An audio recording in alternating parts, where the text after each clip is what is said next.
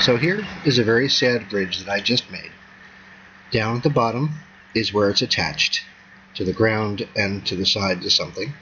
It's attached over here. On top is a weight. A car, a bowling ball, a big car, a crashed UFO, whatever. We'll just say a big person. So,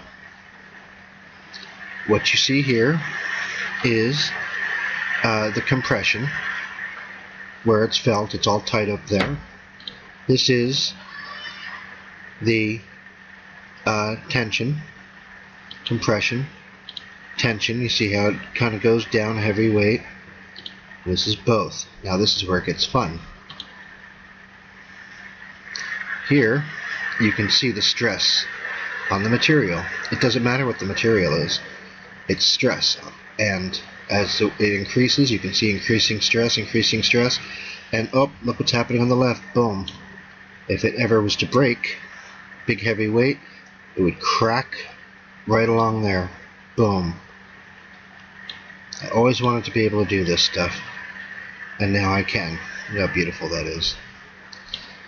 And here, one of the coolest features, now that you've seen it in graphs, now you can watch it. Whoa, whoa.